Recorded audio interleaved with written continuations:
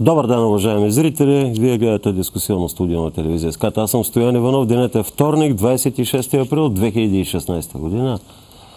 Днес, днес се навършват 30 години от аварията в атомната електроцентрала в Чернобил.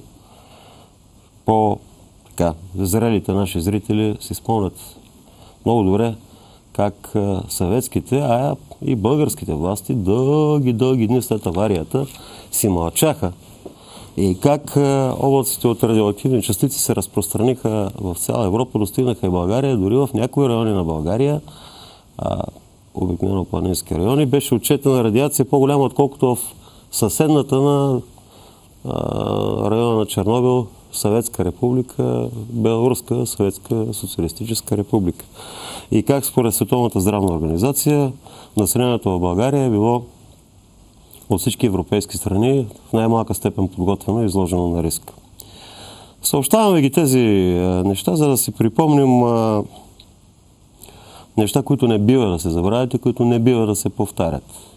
Аз, например, си спомням как ни изкараха на първомайски манифестации, как поваля един хубав дъжд, как едяхме зелени салати. След този дъжд и се оказа, че дъжда е донесъл прах от радиоактивен прах от Чернобил от облаците, как малки деца, бременни също се разхождаха в тези хубави пролетни дни, тук там превалявания. Това не бива да се забравя. Днес обаче темата ни няма да бъде онзи режим и виновниците за това мълчание, които в крайна сметка май на практика останаха ненаказани. Днес ще говорим за това, което става в българския парламент. То става, продължава да става и в момента. Днес имаше извънредно заседание във връзка с а, приемането, промените на изборния кодекс. Правилата за провеждане на избори в Република България. Демократично, Република България и затова темата съм е нарекал битката за изборния кодекс. Това е темата, битката за изборния кодекс, а въпросът, който ще ви зададем в нашата традиционна СМС анкета, тази вечер ще бъде, искате ли вие, уважаеми зрители, искате ли в българския парламент вече да има влезли след нови избори две протурски партии. Две протурски партии. Искате ли в българския парламент да има две протурски партии? Знаете как можете да отговорите на този въпрос, като изпратите СМС на кратък номер 1914 с текст да или пък текст не. Ако искате да има не само една протурска партия, две протурски партии в следващия парламент, гласувате с да. Ако смятате, че не е хубаво да има две протурски партии, гласувате с не. А, след като а, през миналата седмица Патриотичният фронт а, успя да убеди мнозинството в парламента да гласува първо за въвеждането на тъй нареченото задължително гласуване в България, от една страна, а от втора страна да а, ограничи броя на секциите в чужбина, да се откриват такива секции само там, където има български дипломатически представителства, посолства или консулства. А, това предизвика бурна обществена реакция, големи драми, следите ги, предполагам, поне от части. А, и вчера министър-председателя обяви Бойко Борисов в качеството си на лидер на най-голямата партия а, в момента ГЕРБ, че днес сутринта свиква среща на, четирите партии коалиции, които са подписали правителствената програма, за да се уточнят как ще продължат нещата с промените в изборния кодекс. Тази среща се състоя днес в 9 сутринта и сега ще помоля колегите да ни покажат репортажа на Теодора Салагерова, всъщност какво стана на тази среща, какво се разбраха, какво не се разбраха. А аз пак повтарям, споровете и в момента дебата продължава в пленарна зала.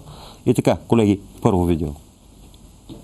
Предложенията на Патриотичния фронт за промени в изборния кодекс предизвикаха стресение сред партиите, подписали се под управленческата програма. Те се срещнаха преди извънредното заседание на парламента в сряда. Най-много време политиците са отделили на задължителното гласуване и ограничаването на секциите в чужбина. Беше обсъдено всичко, което се приказва с основание или без основание към настоящия момент от медиите. Виждам, че се, че се изопачава информация, умишлено се изкривява Създават се едни такива настроения, едва ли не, че се посяга на избирателните права на българите в чужбина и всякакви други простотии.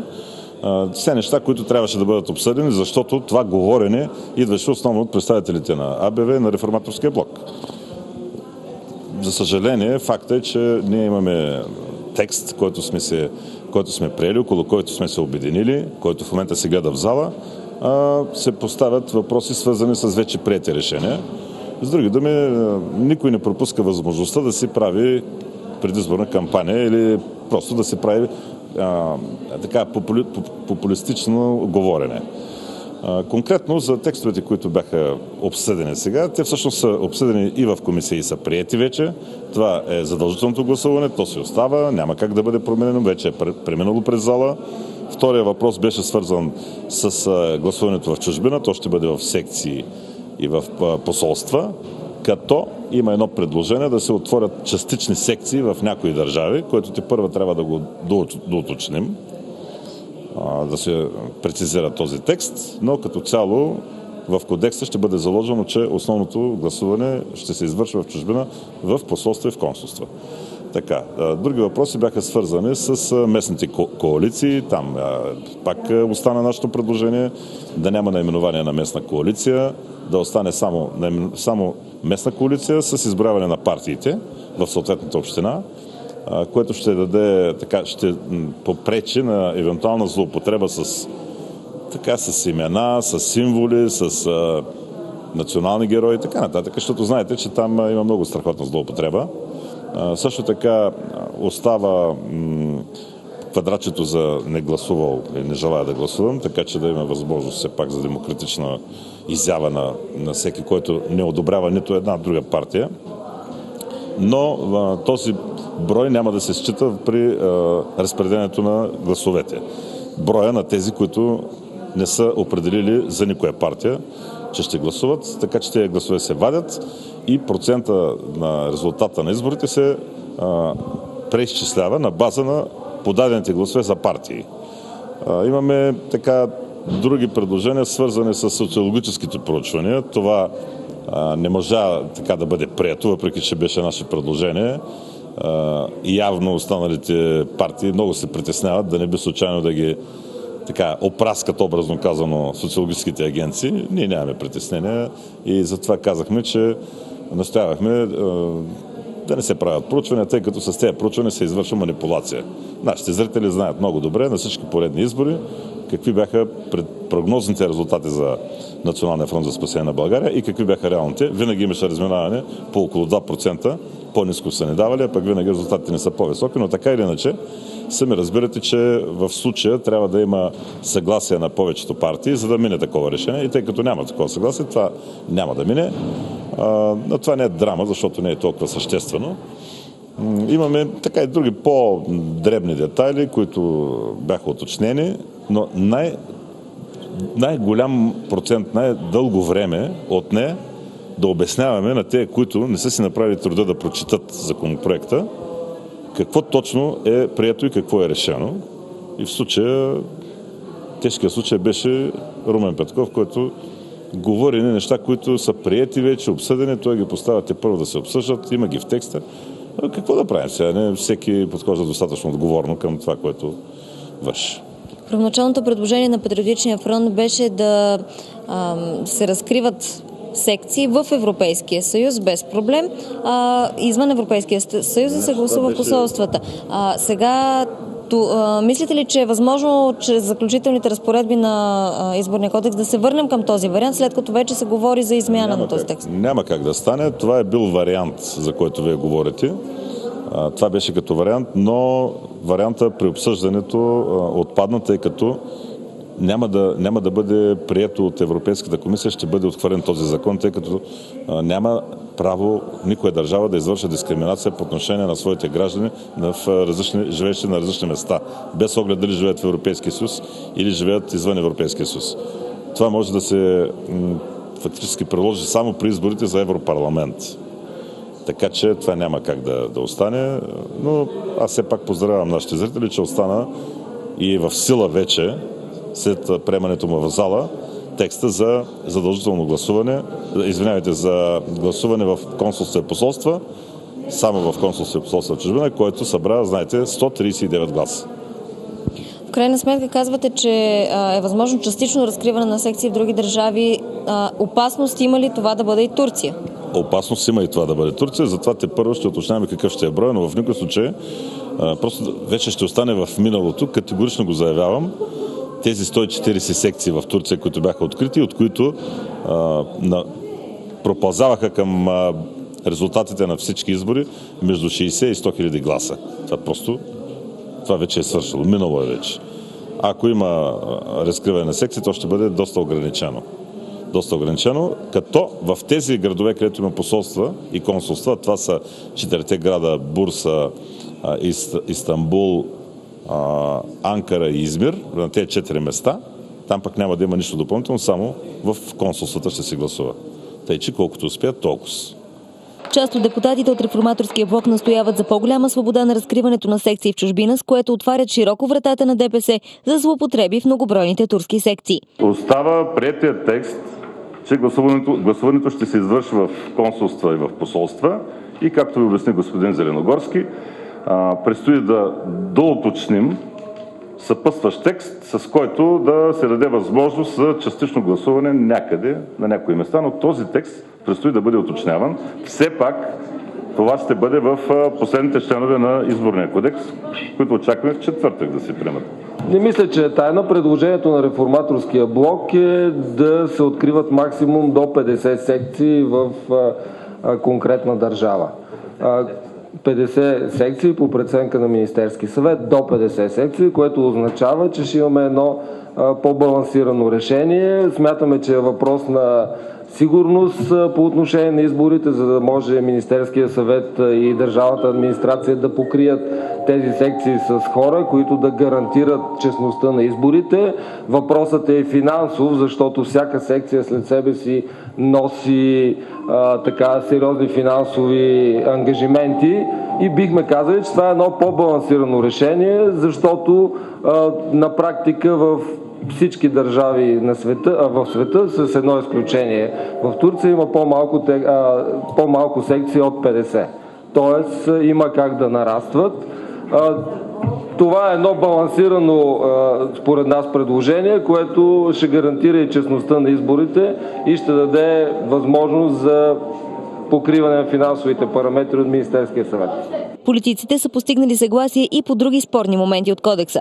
Дебата, който водихме по текстове, които намираме общ консенсус, искаме да ви запознаем с това, което е безспорно и по което имаме абсолютно пълна консолидация. Всичко свързано с местна коалиция. Ще се даде възможност да се регистрира местна коалиция, като се изборяват партиите и формациите, които подкрепят и формират тази местна коалиция. Без да се изписва наименованието, както до сега беше практика, като местна коалиция за бъдещето на Несебър. Това е формата и начина да знаем кои са партиите, които подкрепят и формират тази местна коалиция, но да ограничим възможността за тези корпоративни и економически коалиции, които се създават на местно ниво. Социологическите изследвания, това вече не е тема и ние сме ви информирали и миналата седмица.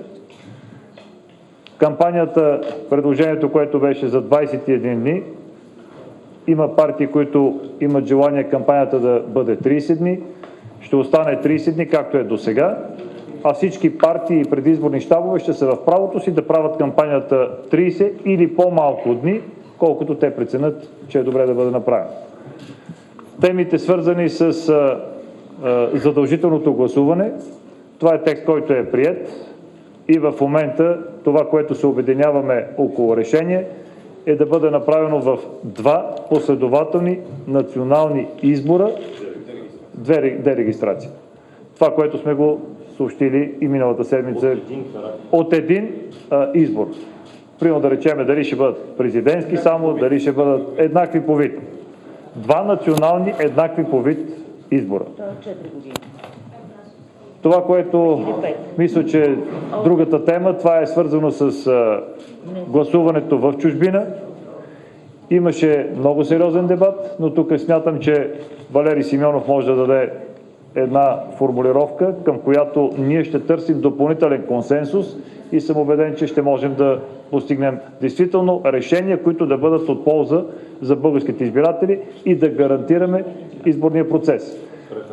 Референдумът, това, което ще стигна до а, така решение, е в преходните заключителните разпоредби да бъде от правомощията на президентската институция, която да решава по събраните подписи и по решението, което има в парламента, да се насрочва референдума и не е задължително да бъде и с национален избор, но не е и задължително да бъде отделно, така че това ще бъде от компетентността на президента и на президентската институция.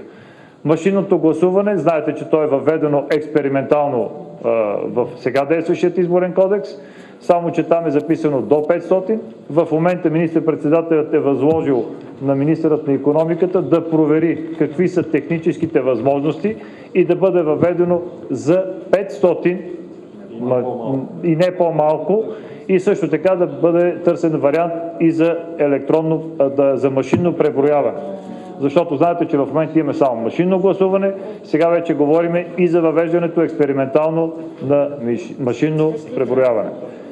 Това са темите, които сме дискутирали. Намираме общ консенсус. Благодаря на всички парламентарно представени групи за разумните отстъпки, които бяха направени в духа да постигнем този политически консенсус, който да ни даде възможност парламентарните групи, които формираме парламентарното мнозинство, да продължим напред и смятам, че няма абсолютно никакви теми, които биха могли да водят до някакво разминаване или някакви непреодолими неща. Малък пропуск е това, че оставяме текстовете свързани с инициативни комитети, такива каквито са били до момента. В заключение искам така да подчертая, че когато се търси единно решение, то може да бъде намерено, стига да има доброжелателност от всички страни. В заключение, просто искам да ви информирам, че Патриотичният фронт обърна много сериозно внимание на министър-председателя по повод изявления на държавни служители, посланнички и други, които изразяват позиции несъвместими с нормите на е, етично поведение и на разделение на властите. Надявам се той да вземе отношение по този въпрос, тъй като това разнопосочно говорене създава несигурност и обърканост в обществото. Що се отнася до задължителното гласуване, то със сигурност остава. А за да не бъде изваден гласоподавателя от избирателните списъци, ще трябва да вземе участие в два поредни избора от един и същи вид, се договориха партиите.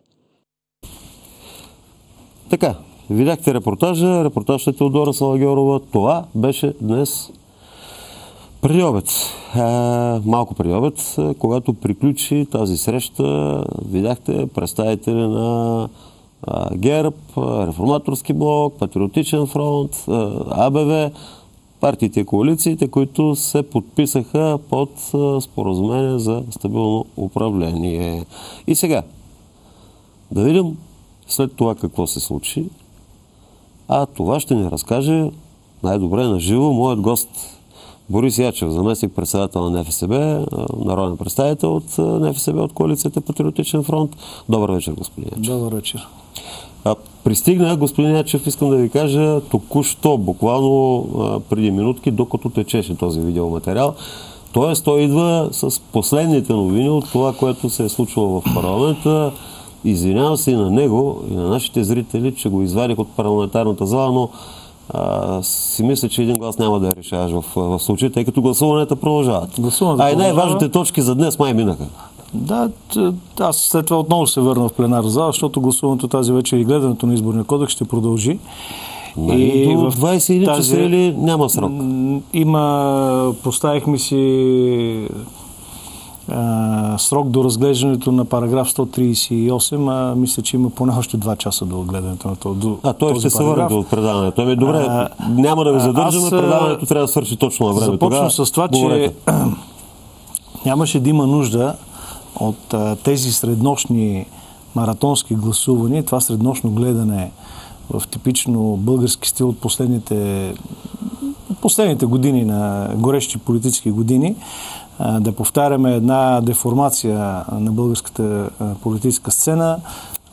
Последния момент, няколко месеца преди избори, сега го правим а, а, 5-6 месеца преди предстоящите президентски избори.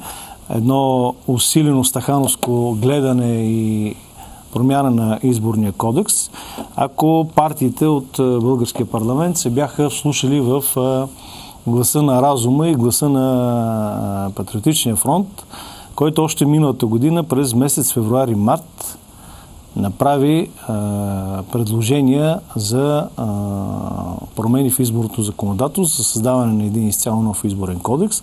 Те бяха внесени в началото на месец март. Ние го повестихме тук от това стои до господин Иванов. А, Точно така, Аз и моите колеги от март до а, миналата година, нали? говорим за месец март а, миналата година, 2015 година, т.е. ние а, направихме, изготвихме и внесохме тези промени само 3-4 месеца след а, парламентарните избори, тогавашните парламентарни избори и създаването на встъпването в длъжност на 43-то Народно събрание.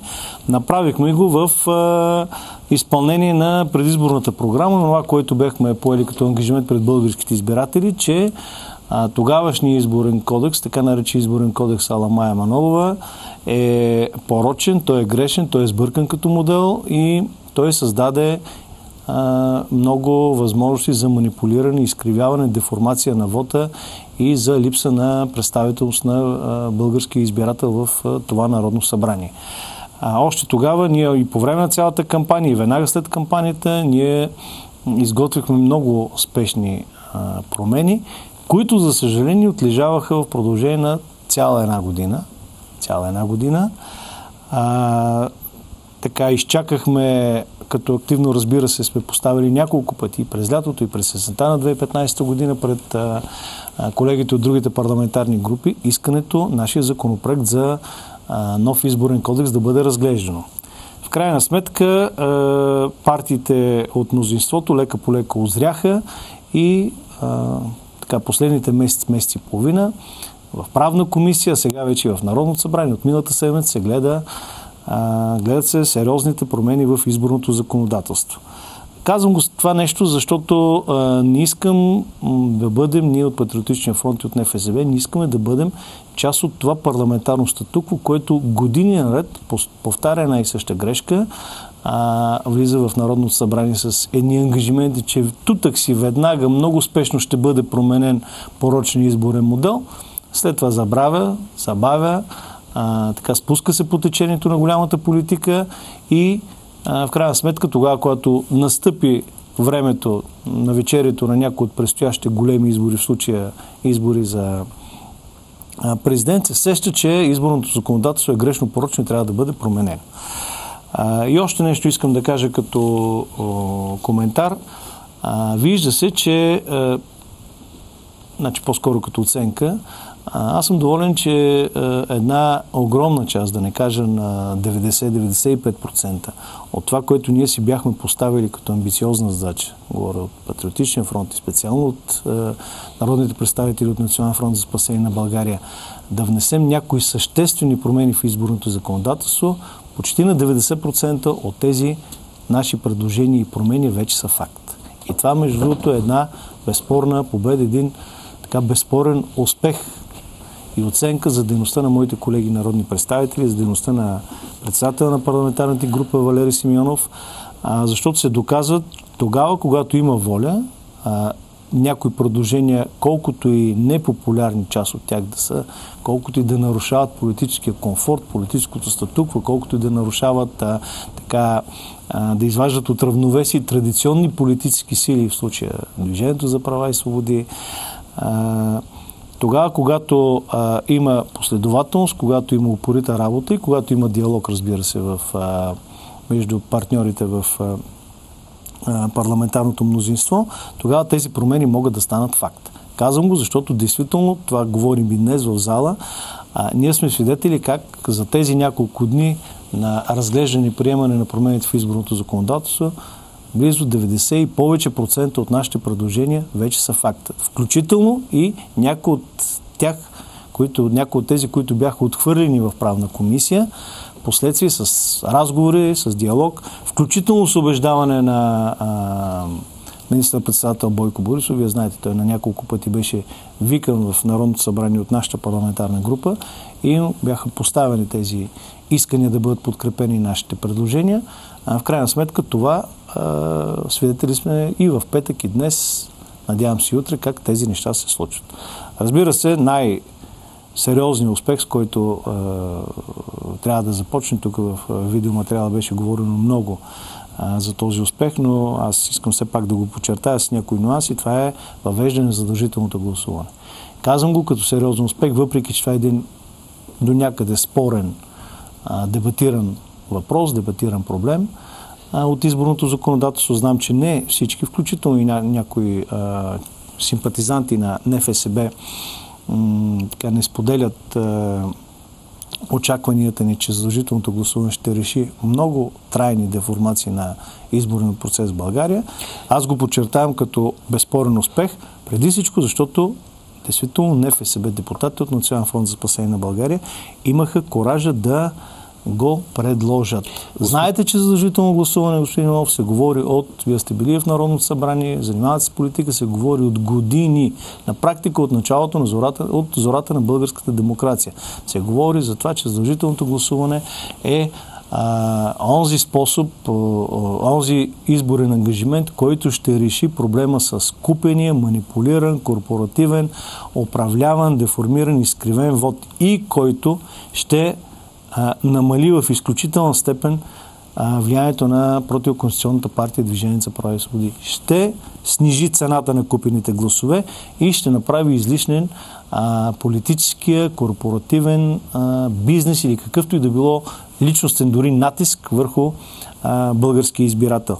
Както се казва, всички го искаха, но никой не смееше да го предложи. Или всички го пожелаваха, но никой не смееше да го предложи. Е, ние на депутата от НФСБ го предложихме и смея да твърда, че го устояхме до последно, разбира се, с разговори, с битка, с много настояване и с много дипломация. Господин Ячев, имаше е, проучвания при поредица от избори, особено парламентарни избори, а, в а, които, аз си спомням и 2005 година, а, след това 2009 година, след това 2013 година, при които след изборите се оказваше, че една голяма част от избирателите са докарани до урните етнически вод, знаете, ДПС е на първо място, но не само ДПС, друга част са купени, купувани и така нататък. И при намаляваща избирателна активност, тези гласове, които бяха... Ставаха много важни. Те ставаха изключително важни. Те превръщаха на практика винаги, до този момент, винаги ДПС в балансьор.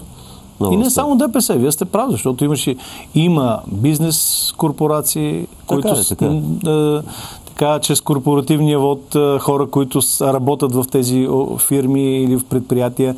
Има едно маргинално една маргинална част от българското общество, ромските махали и квартали, изключително податливи на подаръци, материални стимули и, и други е, предпоставки да гласуват за една или друга партия, които гласуваха винаги за този, който даде най-много.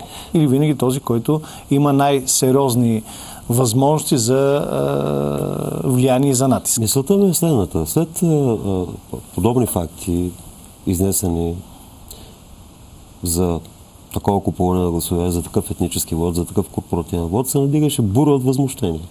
Включително част от хората, които сега кански пищят срещу задължителното, те нареченото задължително гласуване, тогава пищяха и искаха да бъде въведено задължително гласуване. А, имаше изследване тогава, но след изборите, когато се види какво се получава на практика, че две трети от българите искат задължително гласуване. Сега след една седмица обработка в стил, ма как така ще ни задължават, как така нашето право ще го превърна в задължение, резултата започна да става обратния. А, това обаче винаги е било в предизборната програма на НФСБ от самото начало. Впрочем, преди да има НФСБ в телевизия скат, ние сме го говорили това нещо, може би 10 години подред. Вие обяснихте защо. Така е. А, сега не се ли боите, че в крайна сметка част от избирателите, включително и хората, които подкрепиха НФСБ, Патриотичен фронт, ще вземат да се обидят, че видите ли задължавате ги. Какво представлява това задължително гласуване? Как го приехте? Действително, Патриотичен фронт направи някои отстъпки. Отстъпихме за това, което предвидихме като предложение в изборно законодателство, да, да има санкции за а, хора, които не са гласували. Приехме предложението на колегите от другите парламентарни групи да има материални стимули. За какви материал, какво, какъв тип материално стимулиране ще се ще се реши, се говори по-нататък, защото това е оставено да бъде решение на Министерски съвет. Той се занимава с материалното стимулиране за онези, които а, така, изпълнат конституционното си право и задължение да гласуват. В същото време обаче ние успяхме да постигнем още нещо, за което настоявахме, за което от години се говореше и от години никой не се решаваше да, така, да отреже с голямата ножица и да, да разсече така този голям възел проблем, наречен мъртви души. Това са и ние между 200, 300 до 400 хиляди, в зависимост от различните статистики, различни статистически проучвания а, а, хора, които трайно не живеят в България. Някои от тях са починали, а, други от години не са упражнявали правото си на глас, не се знае къде са, но които неизменно присъстват в избирателните списъци. И гласуват, което е по-интересно. И, и, които, и които гласуват, и които вдигат а, а, така избирателната активност, нали, и всъщност правиха невъзможно влизането на по-малки политически партии в изкуствено, чрез а, една система компютър направиха невъзможно влизането на по-малки политически субекти в Народното събрание. Община Сега... Черночена, извинете само секунда, тъй като съм да? присъствал на като журналист, като репортер. Община Черночена, това е в източните Родопи, близо до, Кър, до Кърджали. Като журналист съм присъствал в село, в секция, в която знаете ли колко процента гласуваха, уважаеми зрители? Да не помислите, че са 90 или 92, 99, 100. Айде бе. 117 процента. С дописани, написани, с каране с е такива мъртви души, които изпълваха от неизвестно какви списъци. Просто го давам за пример, извинете, че сега се, не, сега се възползвахме от а, случая да въведем активната регистрация чрез а, а, така наречената санкция за не гласували. Видя се днес, достигната беше договореност. Ние е, предлагахме за онези, които не са гласували, да бъдат отписани от избирателните списъци и тогава, когато пожелаят да гласуват, появят се тези хора, доказва се, че те са истински, реални, съществуват, живеят в България или в чужбина и имат интерес към онова, което става в българската политика, искат да упражнят правото си на, на глас, те отиват и с едно заявление се вписват. Тоест, нищо а, особено като, като санкция, но в същото време едно сериозно, да, едно сериозно прочистване на тези така наречени. Сега остана два, два последователни избора трябва да, да не гласуват. Тоест процеса се бави. блок. Е, те пак, що пак не е много ясно. Ами, как защото според тях се нарушават някакви е, права. А, така ли, моите права, кой ще ги защити? Извинете, господин Ячев. Извинете, извинете. Имам един въпрос към вас. Вие сте народен представител. Аз постоянният ми адрес е в Бургас. Бургазели съм си, там си живея, там е жилище, тук съм по настоящ адрес, защото работя в София. За всеки един избор. Аз отивам до общината и си пускам едно скромно заявление, то е типо да, отнемаме един час време, малко по опашки чакам, но пускам. Искам да гласувам. Имам регистриран тук настоящ адрес, искам да гласувам. И хората, няма проблем, вписват моя списъка. Значи, що мене ме наказвате, когато аз гласувам всеки път, а този, който не е гласувал, трябва да има някакви привилегии. Извинете, защо аз съм ощетен Трябва два пъти да, да не а, че два пъти. конституционното си право в, едни, в еднотипни национални избори. т.е. два пъти да не гласува за избори за Народно събрание, за. Извинете, но това, е- това, това е накажи за... активния граждан. Това правят реформаторския блок. Извинете, така е. че съм възмутен. Така е. Колегите от реформаторския блок доста така активно саботираха голяма част от това, което предлагаше Патриотичен фронт. Вие знаете, че в а, по отношение на задължителното гласуване и по отношение на още едно а, така, една също безспорна победа с, във връзка с а, елиминирането на безкрайните възможности за разкриване на секции в, чуж, в чужбина, стигна се от там, че част от колегите от реформаторския блок, така наречената вътрешна а, опозиция, гласува заедно, останаха в младсинство, гласуваха заедно с партията на Лютви Местан и с Движение за права и свободи. Стигна се до там. Но аз искам по-скоро да говорим за това, което е постигнато, това, което, а не това, което е саботирано или продължава да саботира, защото опитите за саботиране на част от нашите предложения продължават, включително и днес, включително и буквално 5 минути преди да дойде, имаше един много разгорещен дебат между представители на Патриотичния фронт и ДПС. Но ние по наше предложение бяха прияти няколко сериозни промени в, изборната, в изборния кодекс, които ограничават много сериозно изборните манипулации. На първо място беше прието предложението ни пред всяка една изборна секция да има табло с горещите телефони на полиция и на прокуратура, където да се подават сигнали а, за съмнения или за доказани случаи за купуване на гласове или за опит за натиск върху избиратели, за агитация, агитация mm. в а, предизбирателната секция, забелязани нередности, свързани с манипулиране на вота, подмяна на вота, а, така, активност на някои от членовете на избирателната комисия. И в тази връзка, за да има все пак орган, който да реагира на тези сигнали, бяха предвидено е, пак по наше продължение, създаването на оперативни щабове с участието на представители на МВР и на специализираната прокуратура, които на място да много бързо да разследват и да доказват всеки един от тези сигнали за купуване на гласове, за политически натиск, за манипулация на вота, за допуснати изборни нарушения. Така че в тази връзка постигнахме един сериозен а, успех – това, съчетано заедно с наши предложения, които бяха прияти няколко месеца по-рано, предложения свързани с промени в наказателна кодекс и наказателно-процесуалния кодекс, свързани с, завишаване на санкциите за онези, които купуват и продават гласове, мисля, че така като пакет от законодателни мерки, това много сериозно ще удари търговците на гласове и партиите, които търгуват с гласове. Стига обаче законите да се спазват и някои да следи да се спазват, но това не зависи директно от вас, вие сте законодател. Да, разбирам ви натам. Много сериозни промени бяха направени във връзка с прозрачност на изборния процес, не само като процес, а и по време на а, агитацията на а, отделните политически партии. А, значи, прие се в наименованите на местните коалиции да а, се изписват само имената на партиите, които участват в тези коалиции. Без гръмки, подвеждащи от типа на светло бъдеще за община Еди кой си. Заедно за община Еди коя си. Да направим добро за а, община. Нали, така ли, така ли, тази, да. знаете. А, и Хората гледат едни красиви плакати, едни е, красиви, гръмки, подвеждащи лозунги, но не е ясно кои политически партии стоят за тях. Дали това са местни а.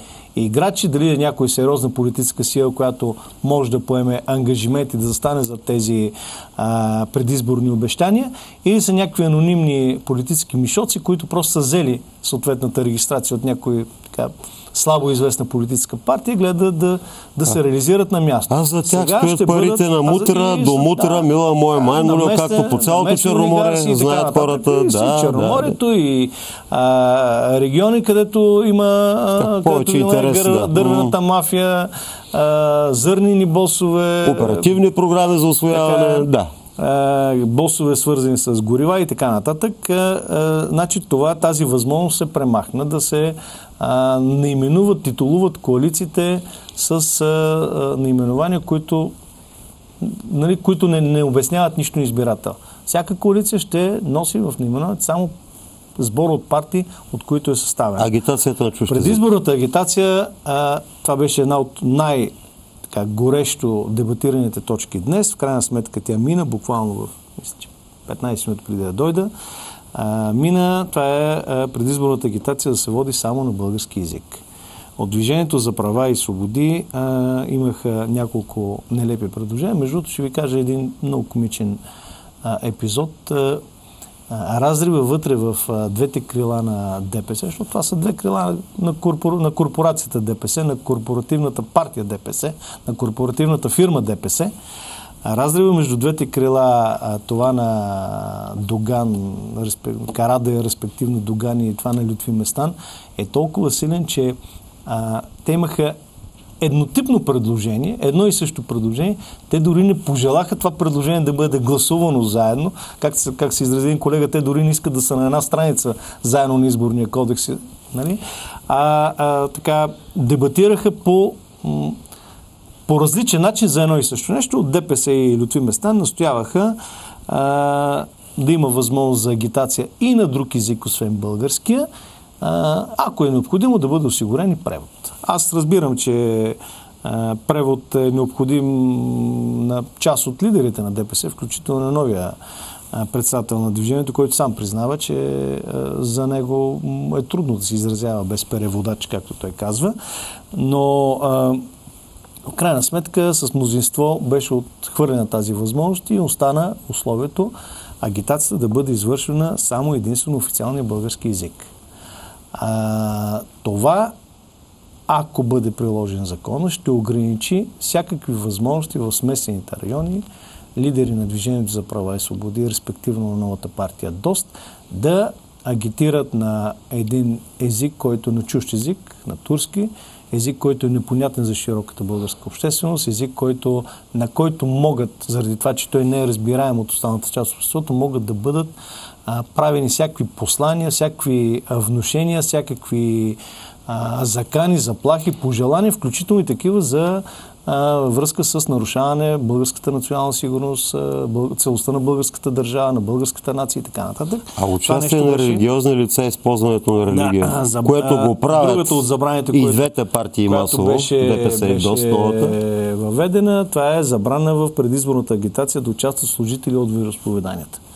А, това слага край на възможността а, моли и мами а, да могат в а, чрез а, техни проповеди, чрез а, заплахи за а, отлъчване, за наказание Божие, а, натиск върху по-възрастни или по-силно религиозно вярващи а, хора от а, от българските турци или българо-мухамедани да бъде оказван натиск. И още нещо, което е важно, забранено беше забраната да се използват в политическата агитация, предизборната агитация, герба знамето на Република България, както и на чужди държави, също така и религиозни знаци, символи и изображения. А имам това е предвид, добре. Имам предвид многобройните случаи, когато в хода на предизборната кампания Движението за права и свободи използваха различни а, цитати, части от Корана и а, те бяха така раздавани и предлагани като част от пропагандни материали. Да, все едно, че не можеш да гласуваш за друга партия, ако си мусулманен. Нали? Те внушения гнусни са, са ясни. А, много ни напред на времето. Аз, колеги, имаме ли възможност да покажем от, от лаптопа една картинка? Защото докато вие заседавахте, днеска в късния следобед, при вечер, а, така, пак скандират оставка пред парламента и тук се, се събрали едни будни граждани, част от протестна мрежа, някои привърженици на реформаторския блок и така нататък, ако ихи. Добре. Аз искам да скадират оставка. Неща. Не, момент, искам... момент, момент. Скадират оставка, понеже не им харесва точно задължителното гласуване и ограничаването на броя на секциите в чужбина. И сега, колеги, ще разберете а, с кого заедно протестират едновременно те. От следващия репортаж, само че колеги ще ви помоля а, репортажа с колегата Любо Желев а, ще ви кажа кога да го спрем, тъй като нямаме време, не можем да го пуснем целия а, второ видео. След направените промени в избирателния закон, реакциите от Турция не закъсняха. Както трябваше да се очаква, очаква, първо реагираха и селническите организации.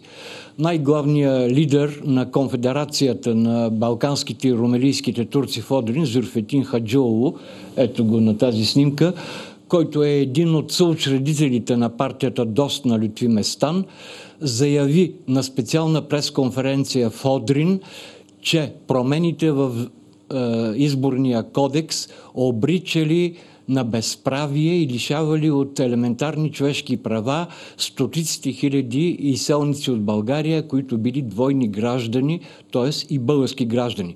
Бих му повярвал, че съпричастен с правата на българските граждани в Турция, на този господин, ако обаче, ето, заедно с турското знаме, бяхме, беше сложил и българския национален флаг, а тук над главата му, ако не знаете да знаете, освен портрета на Мустафа Кемал Ататюрк, беше поставил и портрета на Васил Левски. Тогава щях да му повярвам, че той е и български гражданин. Така, Достатъчно. Това е днешна реакция. Между другото, включително са заплахи, че ще предизвикат бунтове в България. Е, те същите от Турция. И сега, нека да погледнем пак. Ето тези сладури скандират оставка точно заради това, заради което е онзи сладур също ще да прави протести в България и бунтове. А какво ще правят онези сладури там в Турция? Да погледнем 24 часа. Натискат за религиозна конституция в Турция. Уважаеми Наши зрители, чувате ли какво говоря? Натискат за религиозна конституция в Турция. Отмяна на светската конституция от времето на Мустафа Кемал. И това не го казва случайен човек. Това го казва шефа на турския парламент. Ето на тази държава, благодаря колеги, скрите го, на тази държава част от българските депутати, али, те от ДПС и бившото ДПС, отцепени, доста са ми ясни, но част от такива като реформаторския блок на тази турска държава, която ще прави религиозна конституция, иска да даде възможност да предопределя колко и какви депутати ще влязат в българския парламент. Защото не си правите иллюзии, че ако имаше възможност да се откриват колкото се искат секции, този път нямаше да са 140, можеха да са и 200 и да гласуват и 150 хиляди души а не както до сега между 60 и 90 хиляди души е, в Турция. Тоест да направят, да вкарат и доза в парламента и да направят двете турски партии задължителен балансер. Нещо ето такова. Хайде да погледнем и следващата картинка. Може би това искат да не докарат лаптопа. Александър Радимовски. Изборите в Македония зависят от най-голямата албанска партия. Е, това ли искаме? Да се докараме до Република Македония. Достатъчно. Благодаря ви. Нещо много Сега важно, ще изпишем господин... телефоните за връзка с нашите зрители. Иванов, да, господин. Е важно да се каже, преди да изкоментираме и а, този действително безспорен а, наш успех за ограничаване възможността в чужбина да бъдат разкривани безконтролно секции извън а, консулските служби и дипломатическите представителства. Сега знаете, че днес имаше среща с а, лидера, лидерите от мнозинството, с премиера, е възможно, е възможно, казвам, да, да бъдат направени отстъпки, но каквито и отстъпки да, да бъдат направени, какъвто и брой да се спреме, че все пак до някаква бройка а, секции ще бъдат откривани в страните извън България, а, извън дипломатическите посолства и консулства, а, безспорен успех е, че никога повече няма да има възможност за откриването на 140, 146, нали, колкото са най-много брой от последните избори в съседна Турция. искам нещо много важно да се знае и от нашите зрители, и от хората, членовете симпатизанти на, на Национален фронт за спасение на България телевизия СКАТ.